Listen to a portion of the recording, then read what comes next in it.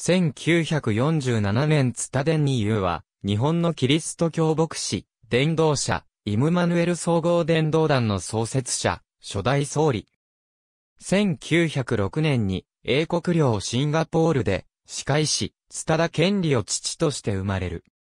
シンガポール時代には、父と同じくメソジスト監督協会に所属し、青年会のメンバーとして活動していた。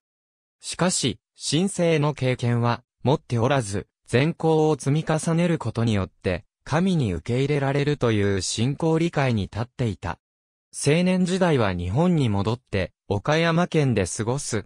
その後、ロンドン大学に留学し、外交官を目指した。ロンドン留学への戦場で、オーエンガントレッドと出会い、信じる者は永遠の命を持ちますの聖書の言葉から、現在キリストにあって命を持っているという神聖の経験を持つに至った。リバイバルリーグ、1940年申請の経験後、外交官を目指すことをやめ、神からの福音の役者になる証明を受けたという認識を持つ。そして、福音の役者になる、固い決意を持ってに、日本に帰国する。中田茂春監督の下で展開されていた日本、ホーリネス協会の協約者になるために、柏木聖書学院に入学し、卒業後に、日本ホーリネス協会の協約者として、日本橋協会で巻き返した。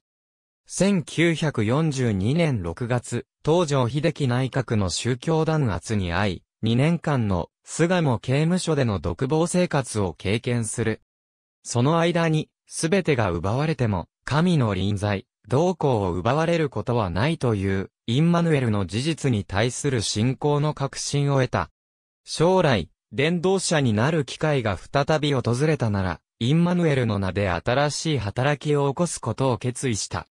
第二次世界大戦終戦直前、巣鴨プリズンから釈放された、ツタデンは、1945年10月21日、他の二人のクリスチャンと共に、イムマヌエル総合伝道団を創設した。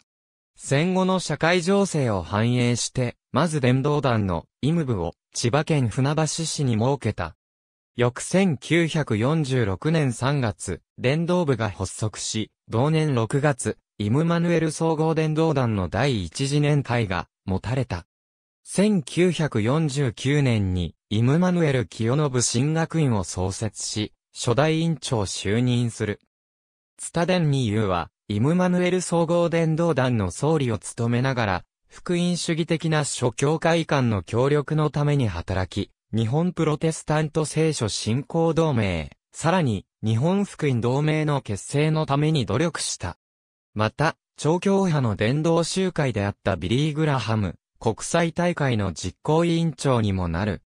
また、広く、国外にも関心を持ち、1960年代に日本の教会の中では早期に世界宣教への取り組みを始め、イムマヌエル清信進学院の卒業生たちを国外へ宣教留学生、また宣教師として派遣した。